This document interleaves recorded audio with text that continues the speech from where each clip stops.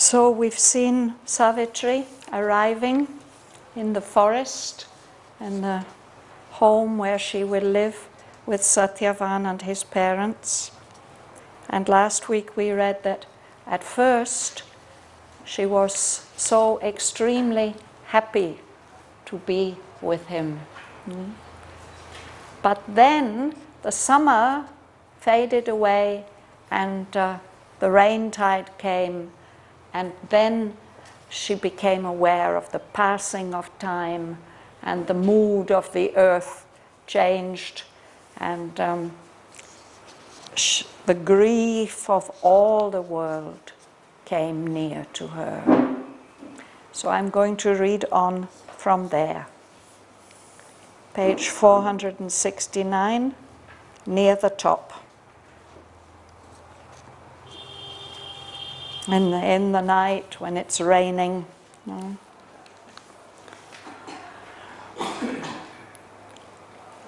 Night's darkness seemed her future's ominous face. The shadow of her lover's doom arose, and fear laid hands upon her mortal heart.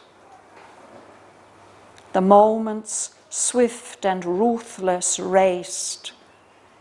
Alarmed, her thoughts, her mind remembered Narad's date. A trembling, moved accountant of her riches, she reckoned the insufficient days between. A dire expectancy knocked at her breast. Dreadful to her were the footsteps of the hours. Grief came, a passionate stranger to her gate. Banished when in his arms, out of her sleep it rose at morn to look into her face. Vainly she fled into abysms of bliss from her pursuing foresight of the end. The more she plunged into love, that anguish grew.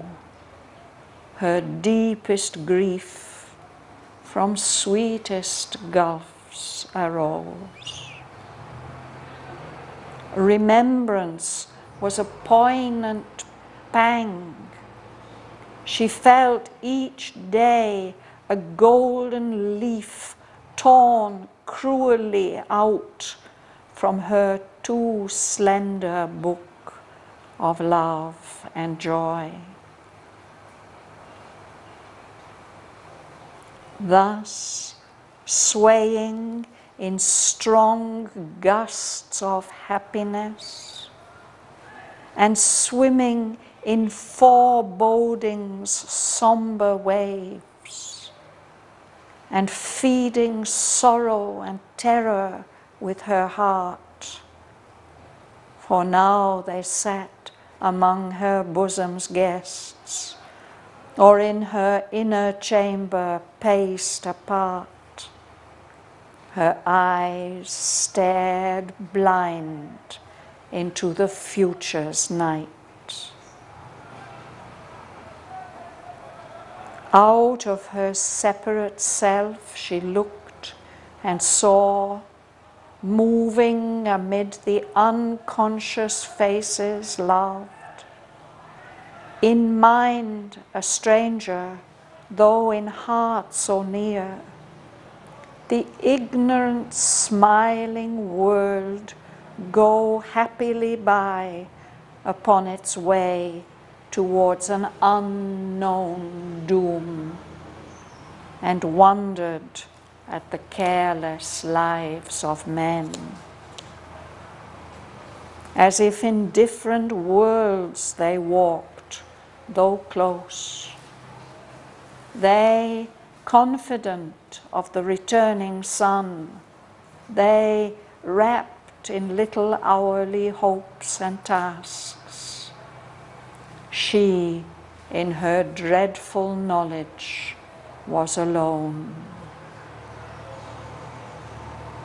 The rich and happy secrecy that once enshrined her as if in a silver bower, apart in a bright nest of thoughts and dreams, made room for tragic hours of solitude and lonely grief that none could share or know. A body seeing the end too soon of joy and the fragile happiness of its mortal love.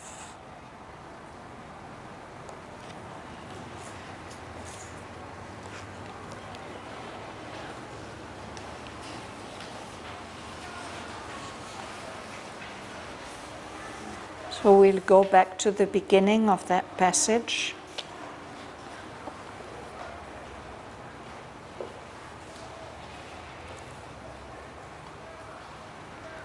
You'll begin, Rosa. Night's darkness seemed her future's ominous face. Hmm. The shadow of her, her lover's doom arose, and fear laid hands up upon her mortal heart. Go on. The moments swift and Ruthless. ruthless rest around her thoughts, her mind remembered Narad's date. Yes. So when she wakes in the, the stormy night, that darkness of the night seems to her like the ominous face, the threatening face of her future. And then, like a shadow coming up, the memory of the, the doom of Satyavan, of her lover, rose up in her. She remembers. And fear laid hands upon her mortal heart. This is the first time she's having any experience like this of grief and fear. no? And time seems to pass so quickly, swift and ruthless. Ruthless is merciless, cruel. No, they are they are not stopping for anything. They are passing. no? They race past, and alarmed, her thoughts and her mind remembered Narad's date. Narad has told them the exact day when Satyavan must die. So she knows when that date is.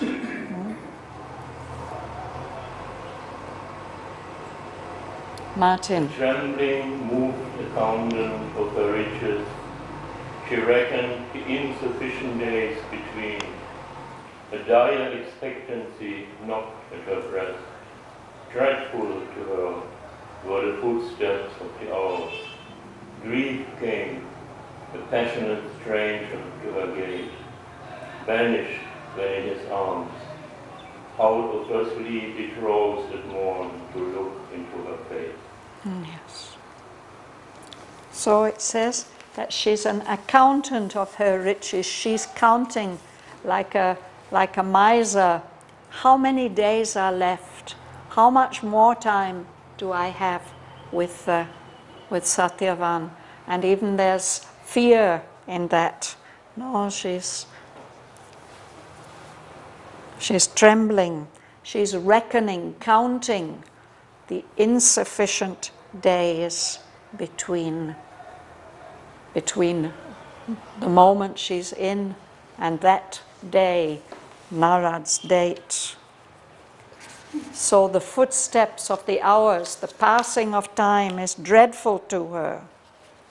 Grief came, a passionate stranger. Grief has been a complete stranger to her until now. no?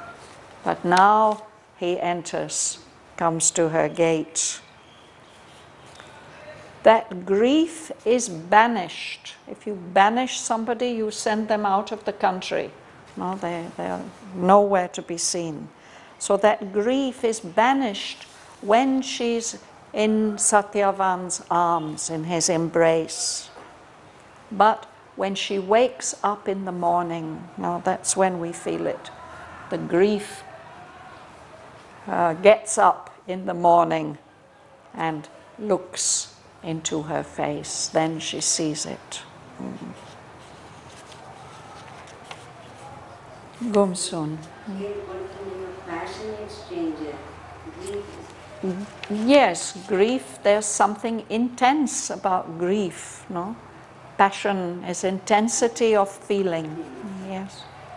And his, that grief, that is an emotion that has been a stranger to her. Now it's becoming familiar. Then the ship went into the into. From pushing whole the end. Continue. Mm.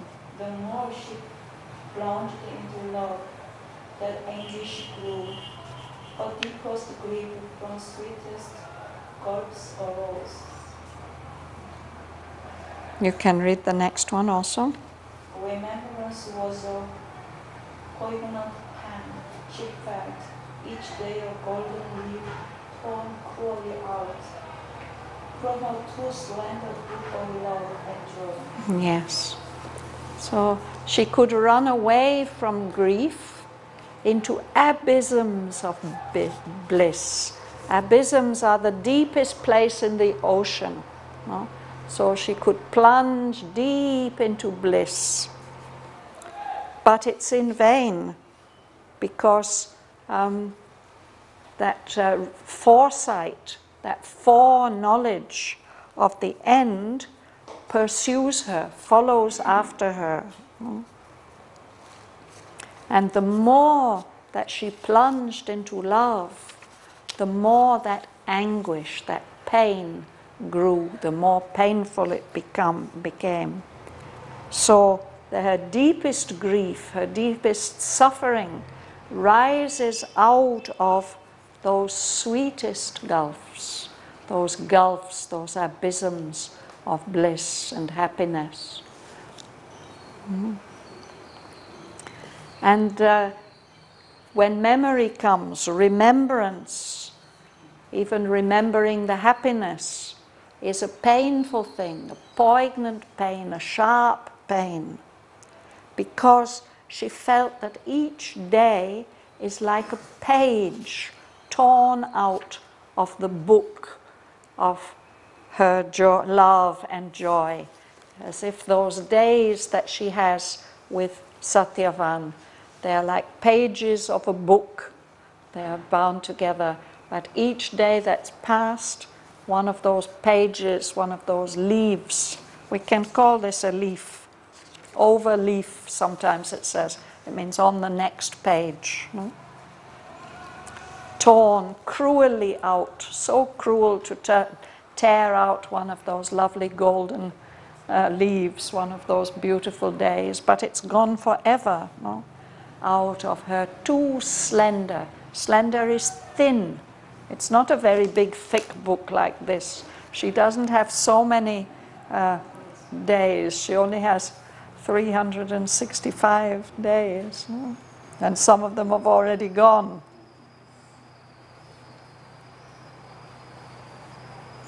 Sergei. Thus swaying in strong winds of happiness, and swimming in forwarding solar waves, and feeling sorrow and terror with your heart. To know they sat among her bosoms guests, or In her inner chamber, face apart, her eyes stare blind into the future's night. Yes. So she's swaying, perhaps like a tree in a storm. Strong winds coming, the tree is blown down, and then the wind goes a different direction. So she's swaying in strong gusts, strong wind pressure, no? Of happiness. Happiness is like a wind, no? She's swaying in these strong gusts of happiness, and then when, the, when Satyavan is not with her, when she's not with him, she's swimming in the somber waves. She's in a dark sea of foreboding. Foreboding is when you have a, a feeling, or in her case, a knowledge that something bad is going to happen. At the very beginning of the poem, we have that the huge foreboding mind of night. The mind of night feels the approach of the light, which will dissolve it. It doesn't want that to come. It's foreboding. And it's as if there are uh, beings eating at her heart, feeding sorrow and terror, terror, intense fear with her heart. Those guests, sorrow and terror, are sitting among the guests at her, at her table in her bosom, or when she's alone in her inner chamber or in her deeper being, they walk up and down. Uh, sorrow and terror, there they are. So her eyes stared blind. She can't really see what will happen, but it looks very dark. The, the future's night. Her future will be a night. And that's echoing what we read before. Night's darkness seemed her future's ominous face.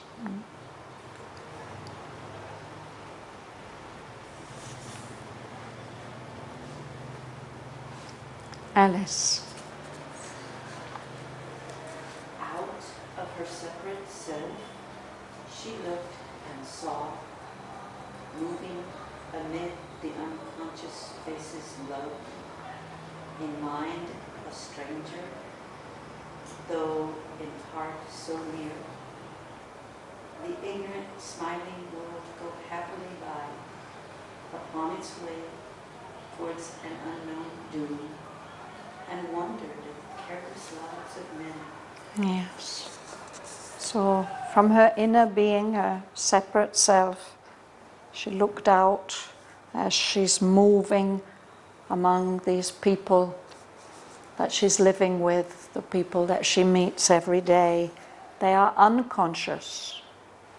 She loves them. She loves, gives her love to everybody, but um, she feels separated the, from them in mind, in consciousness, because she knows something that they don't know. No? So, in that way, um, they are strangers, although they're tied closely by the heart, by love.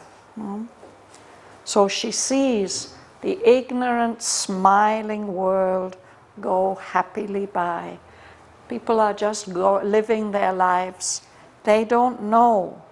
They are ignorant. They don't realize that their road, their way, is leading them towards doom, towards a disaster, something very, very painful and terrible.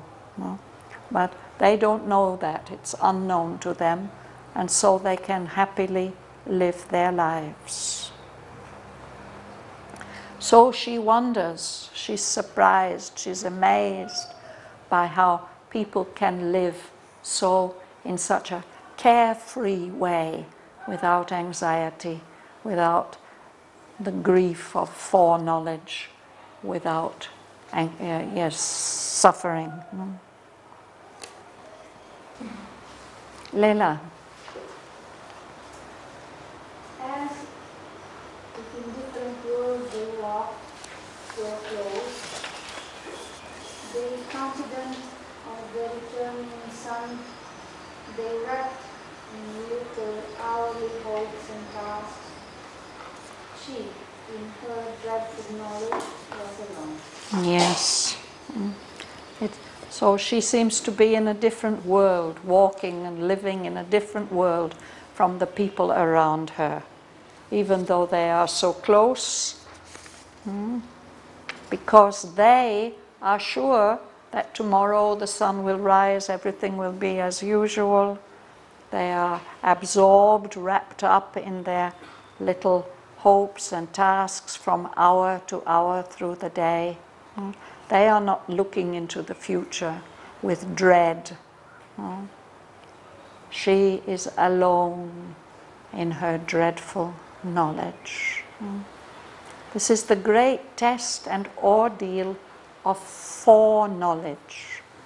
Mother says that uh, most human beings simply wouldn't be able to live if they knew what is going to happen.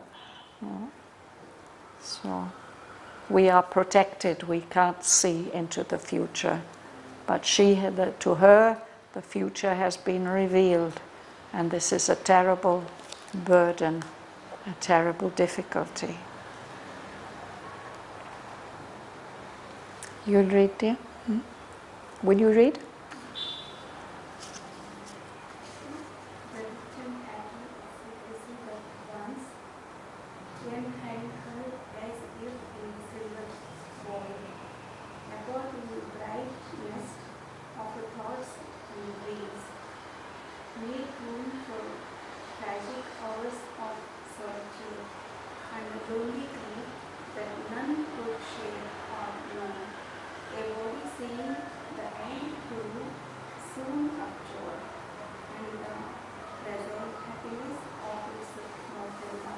Yes. She's always, in a way, lived apart from other people. Although she loves them, she spreads her love around, she's affectionate, but there's something in her which is separate and solitary. And that used to be a rich and happy secrecy. Hmm? That was like a kind of shrine, a protection around her as if in a silver bower. A bower is a, uh, actually it's um, it's a private room for a lady where she can uh, be with herself and uh, separate from other people. Private place. So she's carrying something like that in herself this bright nest, like a bird has its nest, its little place. And her nest was made up of thoughts and dreams. That apartness, that secrecy, now it makes room for tragic hours of solitude when she's alone and suffering, lonely grief that none could share or know. She can't tell anybody. No? She has to bear this all alone. No? And what is the nature of that grief that she's suffering? It's actually herself, her body, seeing the end too soon of its joy, that joy of being together with Satyavan. And it's seeing that the fragile happiness of its mortal love will end too soon. Mm. Joel. A quiet visage, still and sweet and calm, a graceful daily act wear now a mask. In vain In vain she looked upon her depths, depths to find the ground of stillness and the spirit's peace. Hmm. So she's not giving any outward sign of her grief. At the beginning in uh, Canto 2, um, mentioned this that she was too great to share the sorrow and the pain. She keeps it all to herself. She doesn't give any outward sign. So her quiet visage, her calm face, still, sweet, calm, no? And all the things that she did every day, her graceful daily acts, now it's a mask, it's a disguise. It doesn't reflect her inner state. In vain, she's trying to find deep inside herself some kind of ground of peace, stillness, but she doesn't find it.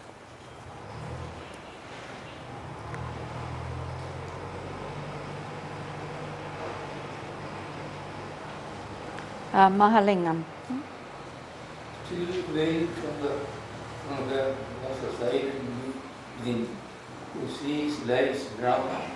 pass with unknown supports the sorrow of the mind and heart, and bears in human breast the world and fate. You can read the next, next line also. Glimpse or flashes came, the presence was hid. Yes. So she, she has still not found her inner being, her inner divinity. No, still veiled from her. It's hidden from her. Hmm? Was this the silent divinity within the witness who watches life's drama pass without uh, with unmoved eyes. It means without being disturbed in any way by what happens outside. Hmm? And that being within supports, gives courage and strength to the sorrow of the mind and heart. And it bears the world and fate, all the, the difficult things we have to face. There's that presence within, inside our um, human breasts. Aurobindo says we wouldn't be able to bear the, the pressure of the world if it weren't for that strength within us. But she hasn't yet found that being within herself. Sometimes there's a glimpse or a flash, but that presence is hidden. Tamarai, you'll read? Yes?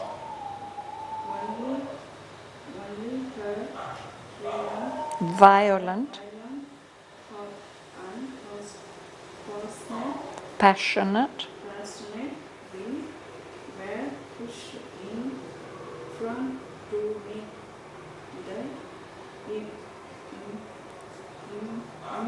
immutable, immutable do. Dif- different, difference near bound to her own lot. human, her human lot. Lord, there had no man to have no no other to save. Yes. Hmm? So she doesn't find that calm, still, strong being within. All she's got is her heart, which is full of intense feelings, passionate heart, violent heart, yes, and her passionate will. Hmm? These she pushes in front to meet this immutable doom, this doom, this dreadful thing that's going to happen that can't be changed, immutable, it won't change. So she meets it with the determination of her heart, strong, violent heart, and her passionate will. Hmm? This is the, these are the weapons that she has to deal with this situation. But she finds herself without any defense, any protection. She's stripped bare of all, um, all kinds of protection that could help her. She's bound, she's tied fast to her human lot. The human lot is suffering, grief, death. So the, the will and the heart have no means to act. They, do, they can't do anything really. They have no way to save her.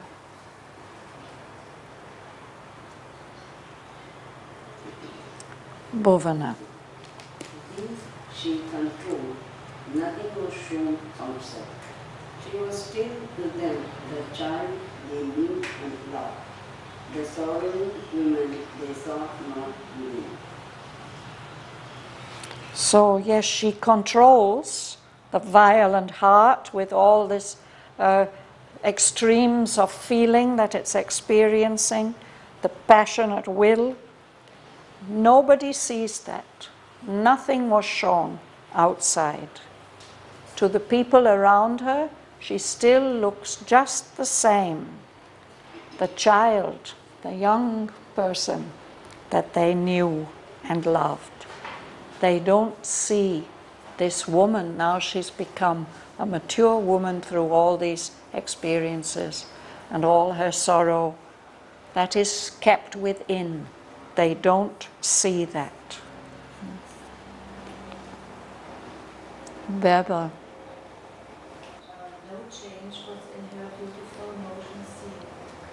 A worshipped empress all, once white to serve. She made herself the diligent serf of all, nor spared the labor of doom and job and well, close gentle tending, the fire of altar and kitchen. No slight to others that her woman's strength might. Hmm, so this is a lovely picture of uh, Savitri as she is living. No, she she. There's no change in the way that uh, they've seen her before. And what is she doing? How is she moving? She used to be the, the empress in the palace, no, a worship empress. Everybody vied, they competed to serve her. Everybody wanted to be close to her and to do little things for her. Now she makes herself the diligent serf to all. A serf is a person who has to do very humble tasks and sometimes hard tasks. It's a word for a kind of slave. no? But she's very diligent. She does everything very, very carefully and properly um, to um, see that no detail is left undone. Somebody who is diligent, they do all their tasks very carefully and precisely. no? So she serves everybody.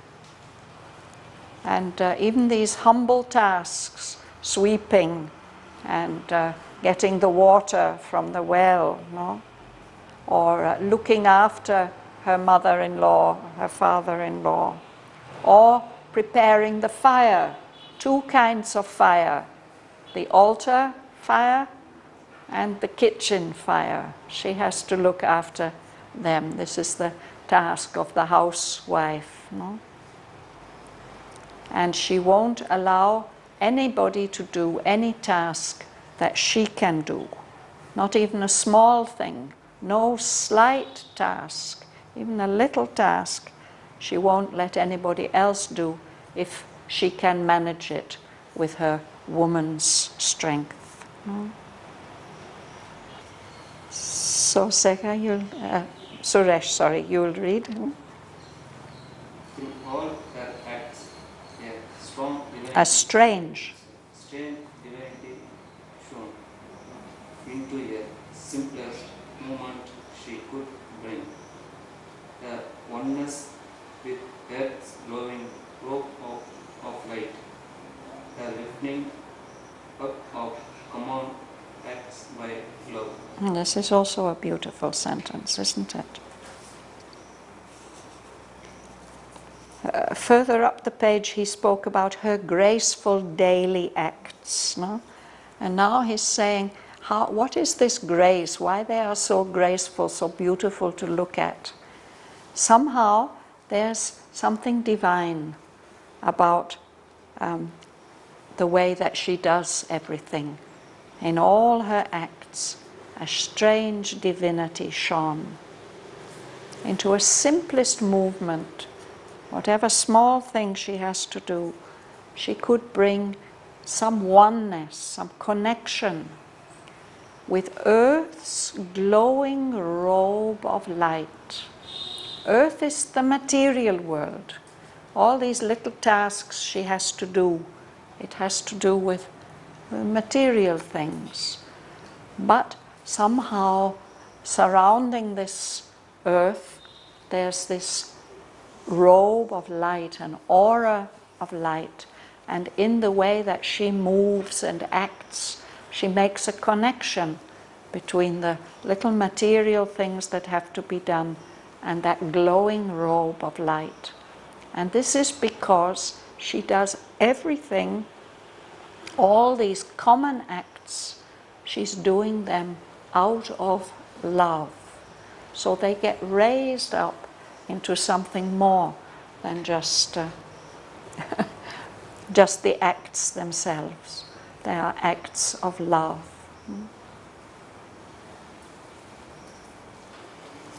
Um, Dana Lakshmi. All love was hers, its one heavenly core, bound all to all, with her as golden tie.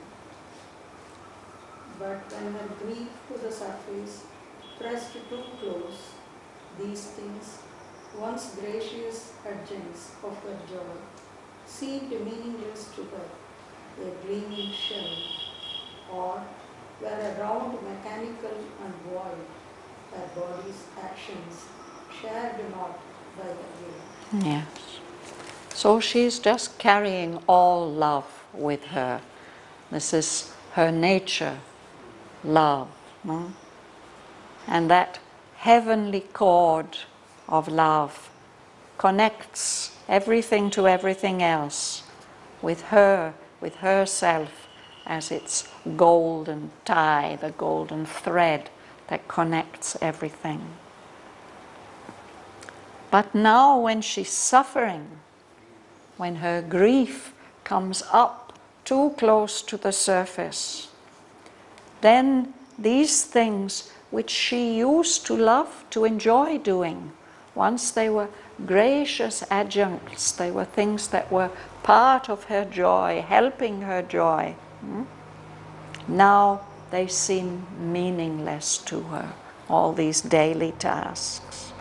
It's just a gleaming shell and a beautiful appearance, a nice looking shell. There's nothing inside, no? Or as uh, household tasks are often to us, perhaps, a mechanical, empty round, just things that have to be done the washing up, the laundry, the sweeping, no? So these are things which her body does, and her will is not in it. Her body's actions shared not by her will. So this is a very unhappy state for her. An adjunct is something that's added on.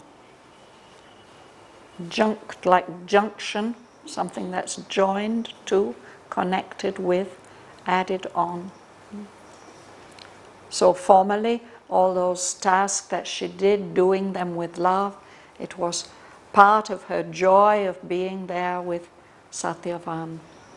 But now, when the grief comes up too close, then these gracious actions begin to seem meaningless and empty, or just a, just a shell They don't correspond to her inner state anymore.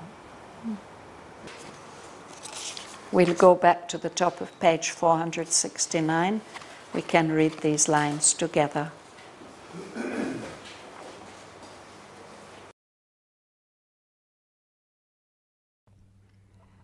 Night's darkness seemed her future's ominous face. The shadow of her lover's doom arose, and fear laid hands upon her mortal heart. The moments swift and ruthless raced, alarmed her thoughts, her mind remembered Narad's date. A trembling moved accountant of her riches, she reckoned the insufficient days between. A dire expectancy knocked at her breast. Dreadful to her were the footsteps of the hours. Grief came, a passionate stranger, to her gate. Banished when in his arms, out of her sleep it rose at morn to look into her face. Vainly she fled into abysms of bliss from her pursuing foresight of the end. The more she plunged into love, that anguish grew, her deepest grief from sweetest gulfs arose. Remembrance was a poignant pang. She felt each day a golden leaf torn cruelly out from her too slender book of love and joy. Thus, swaying in strong gusts of happiness, and swimming in foreboding sombre waves, and feeding sorrow and terror with her heart, for now they sat among her bosom's guests, or in her inner chamber paced apart. Her eyes stared blind into the future's night. Out of her separate self she looked and saw, moving amid the unconscious faces loved. In mind a stranger, though in heart so near, the ignorant smiling world go happily by upon its way towards an unknown doom, and wondered at the careless lives of men. As if in different worlds they walked, though close, they confident of the returning sun, they wrapped in little hourly hopes and tasks. She, in her dreadful knowledge, was alone.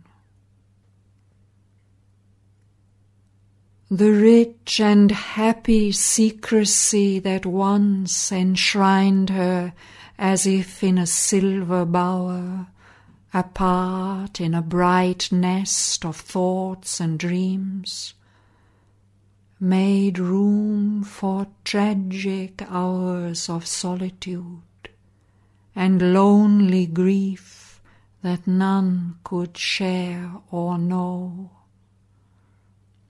a body seeing the end too soon of joy and the fragile happiness of its mortal love.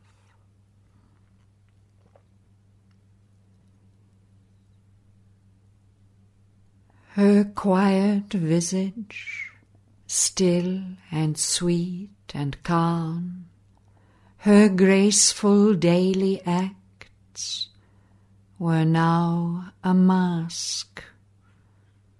In vain she looked upon her depths to find a ground of stillness and the spirit's peace.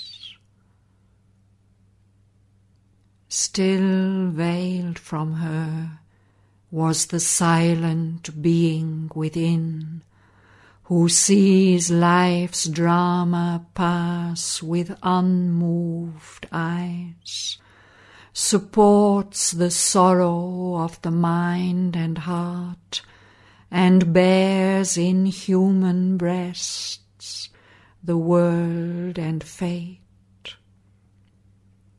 A glimpse or flashes came, the presence was hid. Only her violent heart and passionate will were pushed in front to meet the immutable doom. Defenseless, nude, bound to her human lot, they had no means to act, no way to save. These she controlled. Nothing was shown outside. She was still to them the child they knew and loved, the sorrowing woman they saw not within. No change was in her beautiful motion seen.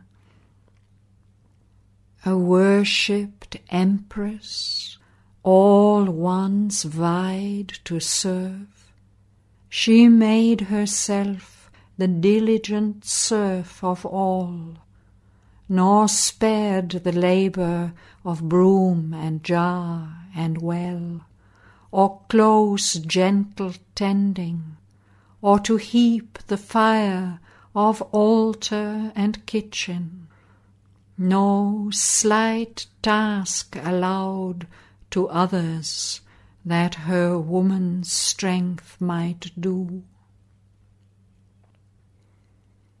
In all her acts a strange divinity shone. Into a simplest movement she could bring a oneness with earth's glowing robe of light, a lifting up of common acts by love. All love was hers, and its one heavenly cord bound all to all with her as golden tie. But when her grief to the surface pressed too close, these things, once gracious adjuncts of her joy, seemed meaningless to her, a gleaming shell, or were around mechanical and void. Her body's actions shared not by her will.